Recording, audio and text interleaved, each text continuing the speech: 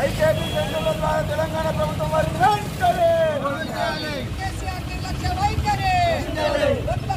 కేంద్రాలను వెంటనే వడ్ల కొనుగోలు కేంద్రాలను వెంటనే వడ్ల కొనుగోలు కేంద్రాలను వెంటనే బీజేపీ జిందాబాద్ జిందాబాద్ జిందాబాద్ బీజేపీ జిందాబాద్ వడ్ల కొనుగోలు కేంద్రాలను వెంటనే రాష్ట్ర ప్రభుత్వం వంటి వైఖరి రక్షించాలి. రాష్ట్ర ప్రభుత్వం వంటి వైఖరి రక్షించాలి. జిందాబాద్ జిందాబాద్ వేసి లక్షలు పెట్టి బోర్లు వేసి ఇదివరకు కాలం లేక ఒక్కొక్కరు నాలుగు పది కాల బోర్లు వేసినాం.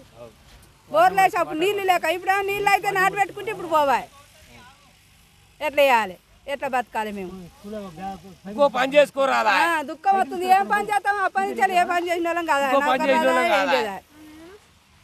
ఎకరానికి ఏడు వందల రూపాయలు ఏడు వందల రూపాయలు నష్టం ఒక క్వింటల్కు. ఆశపాటి తెస్తే నానబట్టి ఏడు వందలు మిగులుతాయి కదా అని చేస్తే అడగోలుగా కోట్ల కోట్లు ఖర్చు పెట్టి అప్పులు చేసి ప్రాజెక్టులు కట్టిరి ఇప్పుడు ఇలా పోదు వరి వద్దని పట్టిరి ఏదైనా ఇత్తనం ఇస్తా ఏ ఇత్తనం లేదు. ఆడిపోతే ఎవడు ఏం చెప్తలేడు. ఒడ్డు తీసుకో ఒడ్లు ఏమైతే మాది లైసెన్స్ రద్దు చేస్తాడు ఏమి ఏమంటారు వాళ్ళు సారు. ఇ- ఇది లేవా అవి లేవు. ఎట్లా పోతాం ఈ ఎందుకు ఈ నీళ్ళు ఎందుకు ఈ అప్పులు ఎందుకు రాష్ట్రానికి అంత అప్పు చేసి. ఆ, అంత ముందుకు ఒక మరి పెట్టుకుందామన్నా నీళ్ళు లేవు. వీళ్ళ వీళ్ళ అందాలని ఈడ కాలమా వాళ్ళు ప్రాజెక్టులు కట్టి ఇటు కాలమా అప్పుడు ప్రాజెక్ట్ లేవు నీ కాలం లేవు ఇప్పుడు కాలువ పెట్టుకుంటే పెట్టలేరు ఎట్లా పడతాం రైతులు? ఏం కావాలి? ఇంత అధ్వానం చేస్తే మమ్మల్ని. ఎప్పుడు లేదు మరి ఎప్పుడైతుందో ఏం చేస్తారు? ఒక ఎకరం ఒక రైతు ఎట్లా బతకాలి? ఉండే అప్పుడు వర్షం లేకుంటే. అప్పు చేసి ప్రాజెక్టులు కట్టి పోయి వద్దరు బట్టి. మాకు మాకు మంచిగా రేట్ వేయాలి. కష్టపడుతున్నాం. ఆన వచ్చినప్పుడు వరద వచ్చినప్పుడు ఎంత ఇబ్బంది అవుతుంది. బురదల మిషన్కి వచ్చినాయి ముప్పై ఐదు వందలు. నాలుగు వేలు తీసుకురు ఒక్కొక్కసారి. నాలుగు వేలు తీసుకురు ముప్పై ఐదు వందలు తీసుకురు మాకు మిగిలాలి. చింతలకు మాకు మంచిగా ధర కట్టియాలి. ఇక మీ చేతుల్లో ఉంది ఇక మరి. ఐదు వందలు ఆరు వందలు కూలేసినాం ఒక్కొక్క రోజు మంది దొరకక. పరదల గిరే ఒక పరదకు మూడు నలభై రూపాయలు ఆరు రోజులు ఎండ పోసినాం అనుకో ఇరవై పరదలలో ఎండ పోసినాం. ఎంత అవుతాయో లెక్క వేయండి మీరే ఇక. న్యాయం చేయాలి. రైతులకు ఏం మిగులుతుంది? రైతు వండేంది? ఏం చల్లి తింటురు ఎట్లా అవుతుంది? మళ్ళీ నాటు పెట్టద్దు అని వాటిని ఒరే వద్దంటే మరి మేము ఎట్లా చేసి ఏం చేసుకొని బతాం మా పొలాలలో ఏమొస్తుంది? పసులుండే. ఎట్లా బతాం మేము? వరేయండి ఏంది? వరి వరి నాటు పెట్టవలసిందే ఏ పంట అయినా వరి కిందనే కదా. ఒడ్డు బియ్యం లేని బతామా మనం? నీళ్ళు లేనప్పుడే లేనప్పుడా లేవండ్రి. మరి ఇప్పుడు నీళ్ళు ఉండే మస్తు ఉండే అవి డ్యామ్లు కట్టరి ఇవి కట్టరి అవి కట్టరి మరి ఆ నీళ్ళని ఏం చేసుకుంటారు? కాలువలలో?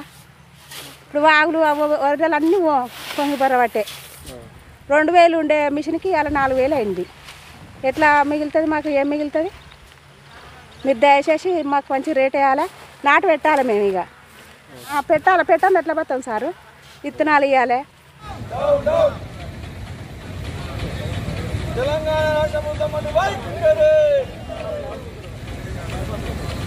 రాష్ట్రంలో పూర్తిగా ఒక రాక్షస ప్రభుత్వ పరిపాలన కొనసాగుతూ ఉన్నది. విచిత్రం ఏంటంటే బంగారు తెలంగాణ హరిత తెలంగాణ ఆత్మహత్యలు లేని తెలంగాణ వస్తుందని చెప్పినటువంటి ముఖ్యమంత్రి గారు ఇవాళ మీరు పంటలే పండించుకోవద్దు ఒట్లు వేసుకోవద్దు ఒట్లు వేసుకుంటే వరి వేస్తే మీకు ఊరే పడుతుందని చెప్పేసి ఇవాళ హెచ్చరించే పరిస్థితి వస్తూ ఉన్నది. మాకు విచిత్రం అనిపిస్తూ ఉన్నది. తెలంగాణ రాష్ట్రంలో ఏమైనా భారతదేశంలో ఉన్నటువంటి కాన్స్టిట్యూషన్ నడుస్తూ ఉన్నదా రాజ్యాంగం అమలవుతూ అమలవుతా ఉన్నదా? లేకపోతే తెలంగాణ రాష్ట్రంలో కల్వకుంట్ల కుటుంబం రాజ్యాంగం అమలవుతున్నది అని చెప్పేసి ఒక అనుమానం కలుగుతూ ఉన్నది. నిన్న మొన్నటి వరకు కాళేశ్వరం కట్టినాం బస్వాపురం కట్టినాం లేకపోతే ప్రాజెక్టులన్నీ కూడా బ్రహ్మాండంగా వస్తూ ఉన్నాయి. మల్లన సాగర్ కట్టినామని చెప్పేసి మాట్లాడారు. ఎంతైనా పంట పండించుకోవచ్చు అనేసి మాట్లాడినారు ఇరవై నాలుగు గంటల కరెంట్ ఇస్తున్నామని చెప్పేసి మాట్లాడినారు. రైతులకు ఎలాంటి ఇబ్బందులు లేదని మాట్లాడినారు. ఏది లేదని చెప్పి మాట్లాడుకుంటూనే ఇవాళ మీరు వరి వేయొద్దనే కండిషన్ ఏదైతే పెడతా ఉన్నారో పూర్తిగా ఇవాళ చేతగాని ప్రభుత్వం ఈ రాష్ట్రంలో పరిపాలన కొనసాగిస్తున్నట్టుగా అనుమానం వస్తూ ఉన్నది. ప్రభుత్వాన్ని మేము డిమాండ్ చేస్తా ఉన్నాం. అయ్యా ముఖ్యమంత్రి గారు వరి వేయొద్దంటున్నాం మీకు రేపు రాబోయే రోజుల్లో రైతులందరూ కలిసి ఉరి వేసే పరిస్థితి వస్తుంది. జాగ్రత్త తస్మాత్ అని చెప్పేసి హెచ్చరిస్తా ఉన్నాం. ఇవాళ ఎక్కడ చూసినా ఏ ఐకేపీ వడ్ల కుప్పలతో నిండిపోయి ఉన్నది. ఒక పంట వస్తే ఇంకో పంట వచ్చే వరకు కూడా రైతులందరూ కూడా రోడ్డు మీద ఉండాల్సిన దౌర్భాగ్య పరిస్థితి ఇవాళ రాష్ట్రంలో ఉన్నది. ఇంత చేతగాని ప్రభుత్వము ఇవాళ ఎక్కడ కూడా లేనటువంటి పరిస్థితి ఇవాళ మన రాష్ట్రం మాట్లాడతారు. ఇవాళ వ్యవసాయ శాఖ మంత్రి గారు మాట్లాడినారు. ఆయనకు వ్యవసాయం ఉందో లేదో రైతుల బాధ తెలుసో తెలియదో మాకు తెలియదు. కానీ నిరంజన్ రెడ్డి గారు ఒక్కసారి గ్రామాలకు వచ్చి పల్లెలకు వచ్చి రైతుల యొక్క బాధలు వింటే తెలుస్తుంది. జగదీశ్వర్ రెడ్డి గారు మాట్లాడతారు సమస్య లేదు ఓట్లు వేయొద్దు విత్తనాలు ఎవరికి పంపిణీ చేయొద్దు అంటారు. ఈ అయ్యే జాగిర్ లేదు ఇక్కడ. ఇక్కడ తెలంగాణ రాష్ట్రంలో ఆరేకరనో ఎకరనో ఉంటే రైతులు ఆ పంటను పండించుకొని వాళ్ళ కడుపు నింపుకునే పరిస్థితి వస్తూ ఉన్నది. అలాంటిది ఇవాళ మీరు బలి వేయొద్దు మీరు చేసుకొని బతకమని చెప్పేసి చెప్ చెప్తున్నారని చెప్పేసి మాకు అనుమానం కలుగుతా ఉన్నది. అందుకే ఇవాళ రైతులు ఎవరైతే మాట్లాడుతూ ఉన్నారో రైతాంగానికి వ్యతిరేకంగా మాట్లాడుతున్నటువంటి నిరంజన్ రెడ్డి గారు కానీ జగదీశ్వర్ రెడ్డి గారు కానీ వెంటనే ప్రజలకు రైతాంగానికి క్షమాపణ చెప్పాలి. వడ్ల కొనుగోలు చేయాలి. ఎవరైతే కామారెడ్డి ప్రాంతంలో వడ్ల కొనుగోలు కోసం నిరీక్షణతో ఉండి చనిపోయినటువంటి రైతుకు నష్టపరిహారం చెల్లించాలి. అంటే రైతులు పండించిన ప- పంటకు అప్పులు చేసే ఆత్మహత్యలు కాదు. రైతు పండించినటువంటి పంటను అమ్ముకోవడానికి కూడా ఎవరు చనిపోవాల్సిన దౌర్భాగ్య పరిస్థితి వల్ల తెలంగాణ రాష్ట్రంలో ఉన్నది. అందుకే ముఖ్యమంత్రి గారిని కోరుతా ఉన్నాం. అయ్యా ముఖ్యమంత్రి గారు మీరు ఫామ్ హౌస్ నుంచి బయటికి రండి. మీరు మాత్రం ఎక్కడ ఎకరాకు కోటి రూపాయల చొప్పున పంటలు పండించుకుంటా ఉన్నారు.